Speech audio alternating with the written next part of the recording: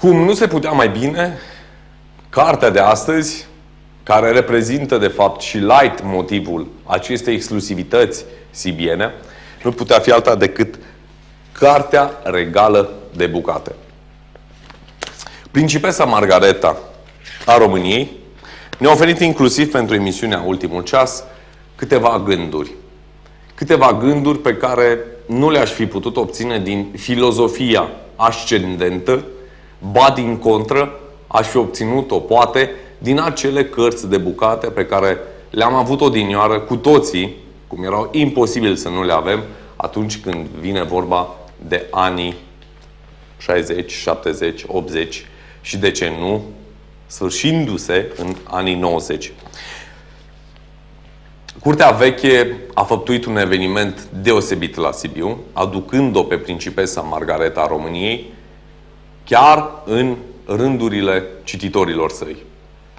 Să știți că lansările de carte nu sunt un motiv de a semna și a oferi autografe în mod gratuit, să-i spunem așa. Lansările de carte sunt create pentru a putea fi mai aproape cu dumneavoastră. Telespectatorii, cititorii și iubitorii de carte. În aceste rânduri, putem spune că evenimentul editorial s-a mai îmbogățit pe rafturile sau a mai îmbogățit pe rafturile bibliotecilor și a librăriilor cu încă un volum de carte regală.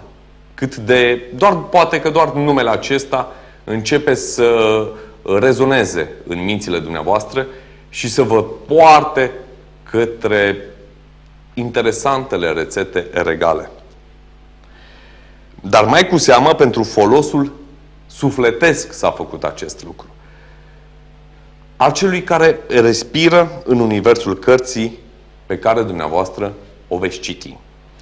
Cartea regală de bucate, simplă în uh, alcătuirea denumirii, dar strălucitoare și grandioasă, în lumea edițiilor de lux, acesta e numele cărții care se regăsește de acum în librării, de aici până le, uh, le-a fi preschimbat într-un prospect al artei culinare, parcă nelăsându-se activitatea în menirea aceasta cu desăvârșire gustativă, oprește mersul secundei în armonia vizuală pe care o înfățișează paginile sale.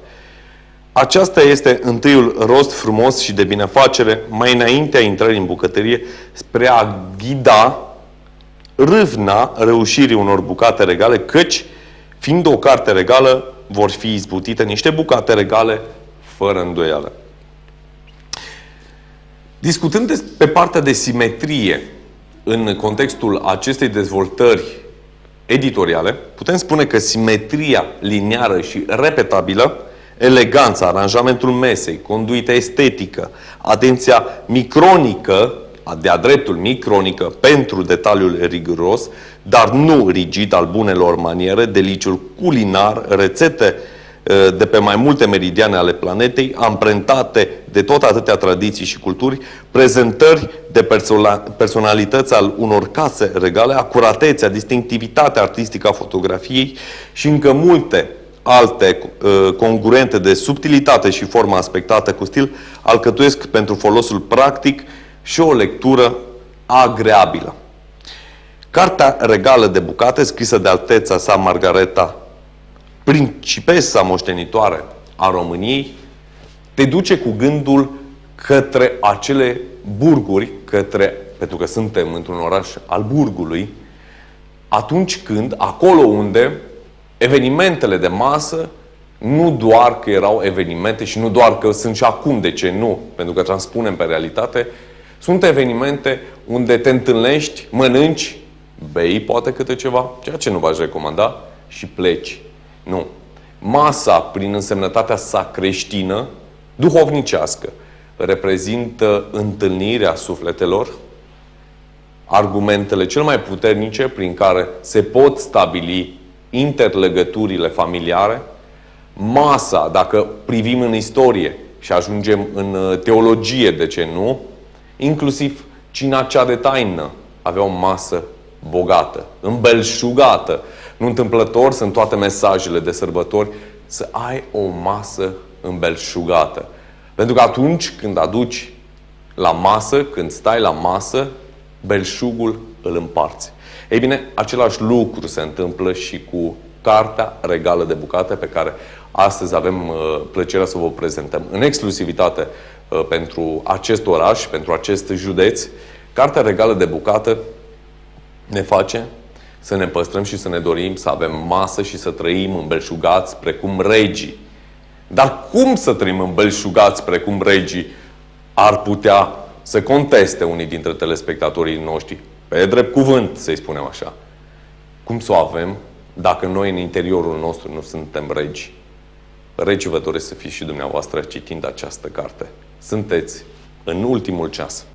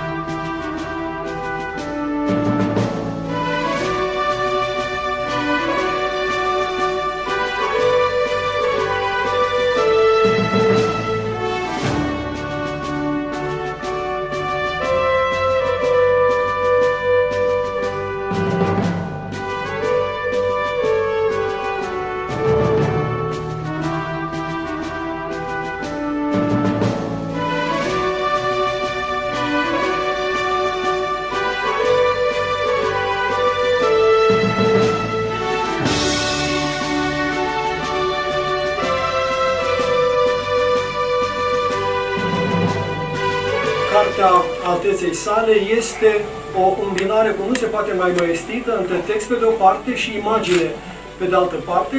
Este un binou care, dacă vreți, de la începutul secolului 20 a făcut carieră.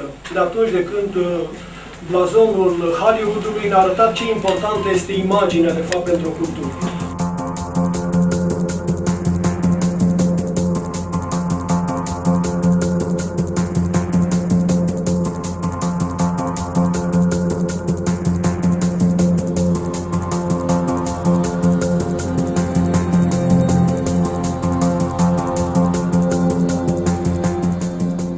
Sunt foarte fericită să fiu aici uh, și că pot să vă ofer o carte de bucate regală la mod propriu. Știm cu toții cât de important a fost și rămâne în ritualul și acțiunile publice ale casei regale ospitalitatea. De-a lungul sutelor de ani, familiile regale au adunat tradiție, frumos, calitate și experiența în comportamentul public. Am fost crescută într-o lume în care comunitatea și spiritul asociativ sunt fundamentale pentru individ și societatea. Întâlnirile de familii în Europa și în lume au ocupat o bună parte din viața noastră și au dat un anume sens, o anume valoare, mai ales în anii petrecuți în afara României în exil. Cartea mea dorește să onoreze pe acești oameni și să reflecteze ceva din bogăție întâlnirilor cu ei. Bunicile mele, regina mama Elena a României și principesa Margareta a Danemarcei, au avut de-a lungul vieților parte de multe experiențe culinare, în tot ceea ce avea mai bun cultură ospitalității daneze, grecești, engleze, franceze, italiane și ruse. Crescând în Anglia, Danemarca și Italia, atât de aproape de bunicile mele, am început cu ele în carte, apoi am continuat cu părinții mei, regele și regina, surorile și verii cei mai apropiați, cum este principele Charles, regina Sofia și ducele de Aosta. Cartea este un fel diferit de a cunoaște familiile regale ale lumii sunt mândră de acest lucru și sunt singură, sigură că societatea românească va avea de câștigat din acest travaliu. După mutarea, în anul 2001, la Palatul Elizabeta și la Castelul de la Sărășin, viața noastră a alternat momentele private de familie cu cele formale, publice sau oficiale. Prin toate am învățat câte ceva și toate au adus un plus de plăcere, de confort, de apropiere, atât familiei noastre cât și musafirilor. Mulțumesc!